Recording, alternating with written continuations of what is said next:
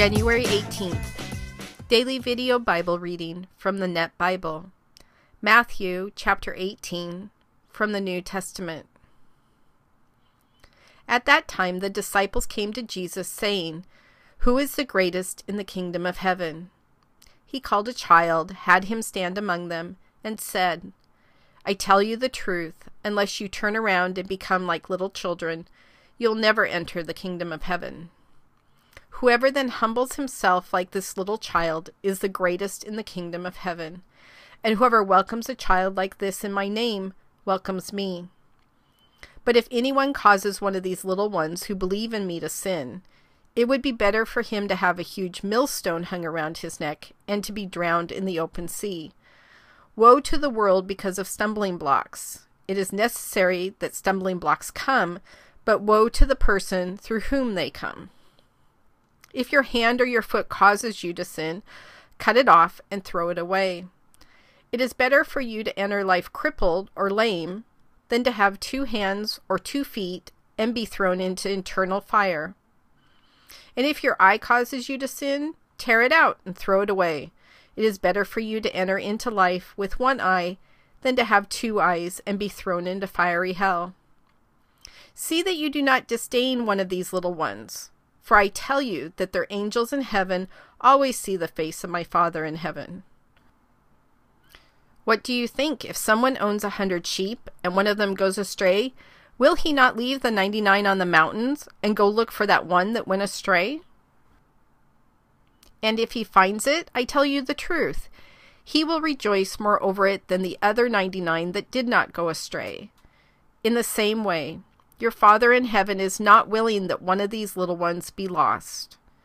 If your brother sins, go and show him his fault when the two of you are alone. If he listens to you, you have regained your brother.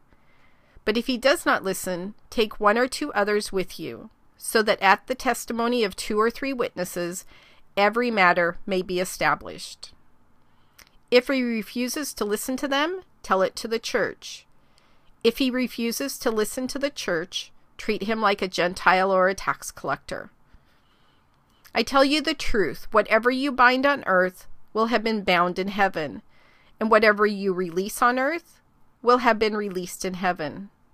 Again, I tell you the truth. If two of you on earth agree about whatever you ask, my Father in heaven will do it for you. For where two or three are assembled in my name, I am there among them.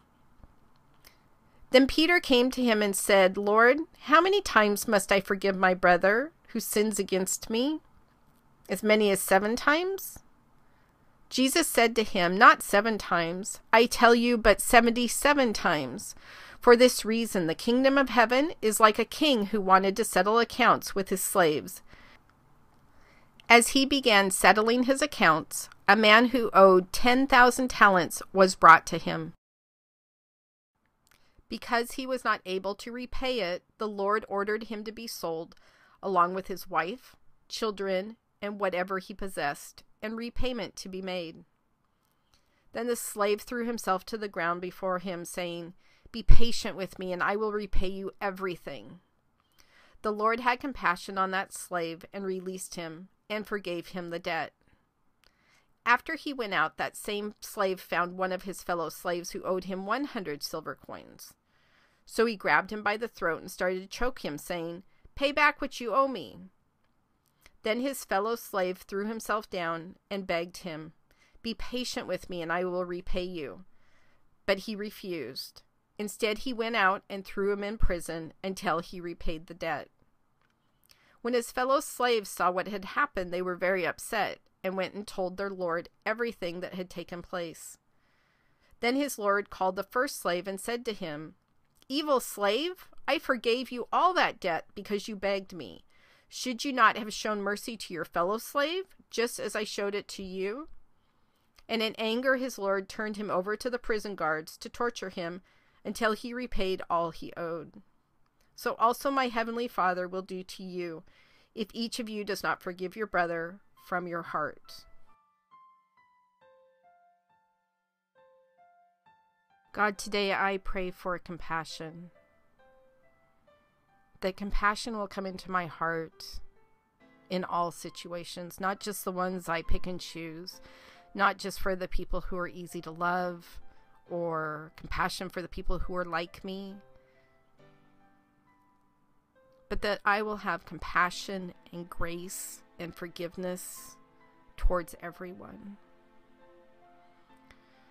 God asks for patience within that compassion that I do not understand what that person has been through that caused them to make the choice that is now making me angry or frustrated or hurt.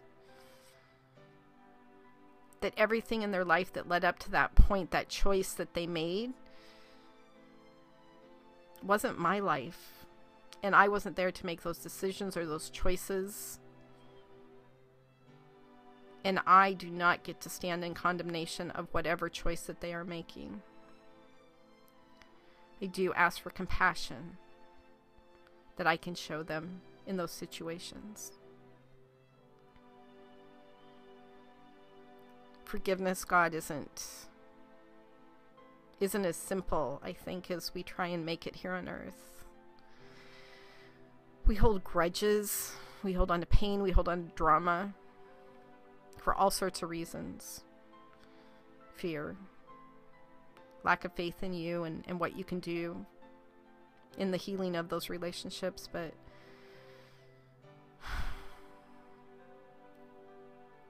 today I just ask for compassion. Not just that I am able to forgive in these situations or that people are able to forgive me, but that there's compassion and kindness in those situations. You know, that first slave that you talk about it wasn't just a debt that he had.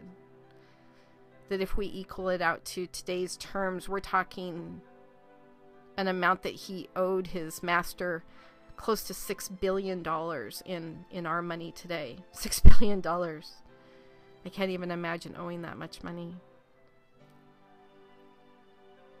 And then he turns around and tries to collect from somebody who owes him about twelve thousand dollars which is still a lot of money, but to compare the two, there's really no comparison. So that if you can forgive us something unimaginable, unimaginable like six billion dollars in debt, our sins, our sins of theft and, and adultery, and intentionally hurting other people, gossip, lies, murder. If you, my God, can forgive the unimaginable, all the unimaginable things I do and sin against you, then surely I can have compassion to the other person here on earth. Today, I, I ask you for compassion Teach me what that looks like. Show me what that looks like. Allow me to be humble in those situations where I truly don't understand or know or appreciate what the other person has gone through to make those choices. Help me to not take it personal, but instead to love them like you have loved us. In your Son's name we pray. Amen.